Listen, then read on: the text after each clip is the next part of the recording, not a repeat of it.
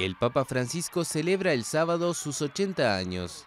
Desde su elección como pontífice en 2013, su espíritu reformador ha seducido a un gran público, pero indispone al sector más conservador de la Iglesia. un papa muy activo, un papa Francisco es un papa muy activo, pero también es un papa que encuentra mucha oposición por su visión sobre la Iglesia.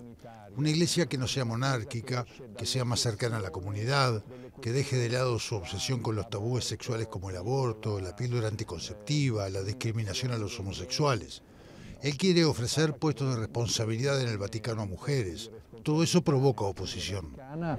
Suscita una oposición. El argentino fue elegido, entre otras cosas, para proseguir la reestructuración económica de la Santa Sede, iniciada por Benedicto XVI, Además, se rodeó de ocho cardenales para llevar a cabo una reforma de la curia que ha estado sembrada de obstáculos.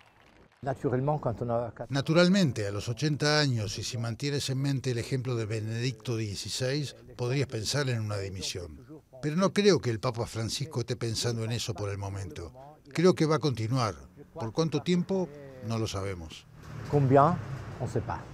Jorge Bergoglio ya no se plantea el retiro, pese a una intensa agenda que ha incluido 17 viajes en sus casi cuatro años como papa.